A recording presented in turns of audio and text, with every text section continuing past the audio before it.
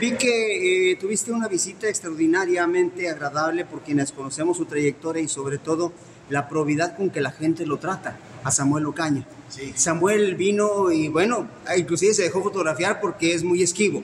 Sin embargo, la experiencia que te deja el- el- una visita como esta de un hombre que tiene una lucidez extraordinaria, gran jugador de ajedrez y sobre todo hombre que pues ama a su, a su tierra. ¿Qué fue lo que platicaron si se puede tener Bueno, un poco por de experiencia? supuesto, yo le guardo mucho cariño, le guardo mucho reconocimiento al doctor Ocaña, es una persona cuyo ejemplo y cuya trayectoria en verdad es digno de reconocerse y de aplaudir además. Este, es una persona que además tiene una gran sencillez como ser humano y eso la verdad que lo avalora uno mucho más.